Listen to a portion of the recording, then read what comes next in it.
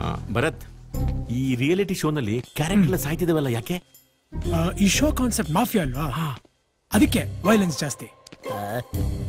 Director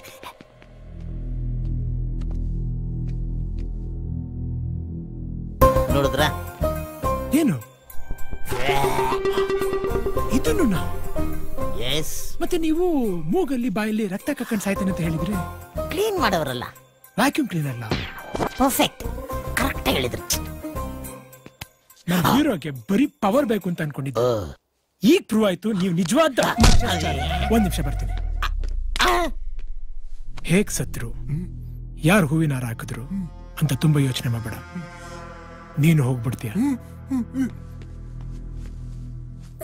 ಏನ್ drama ಮಾಡ್ತಾನಪ್ಪ? ಎರಡು ಕೋಟಿ ದುಡ್ಡು ಹಿಡಿಯೋಕೆ.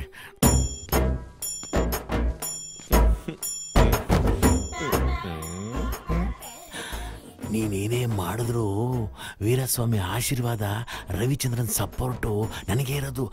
ಅವ್ರ ಮಗ ಮನು ಎನಕ್ರೈಸು ನನಗೆ. ಪ್ರೈಸ್ ಮನಿ ನನಗೆ ಫಿಕ್ಸು ಕೇಳಿಸ್ಕೊಂಡ ದಡಿಯ. ನಿಮ್ಮ ಮಾವ ಡೆಡ್ ಬಾಡಿ ಜೊತೆಲೂ ಮಾತಾಡ್ತಾರ? ನಾರಾಯಣ್ ಶ್ಲೋಕ ಹೇಳ್ತಿರ್ಬೇಕು.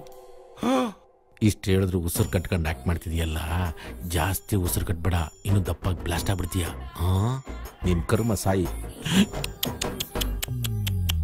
ನರಸಿಂಹ ಅವರೇ ನೀವು ಈ ಡೀಲಿ ಕೈ ಹಾಕ್ದಾಗಿಂದ ನಿಮ್ಮ ಪಾರ್ಟ್ನರ್ಸ್ ಒಬ್ಬೊಬ್ಬರಾಗಿ ಪರಮಾತ್ಮ ಪಾದ ಸೇರ್ಕೊಂತ ಇದಾರೆ. ನನಗೆ ಯಾಕೋ ಆಯುಸ್ ಮುಗಿದ್ರೆ ಯಾರು ತಾನು ಏನ್ ಮಾಡಕ್ಕಾಗತ್ತೆ? ನೋಡಿ ಸಂಜೆ ನಿಮ್ಮ ಮಾವನ ಕರೆಸಿ. ಡೀಲ್ ಮಾತಾಡಿ ಮುಗಿಸ್ಬೋಣ.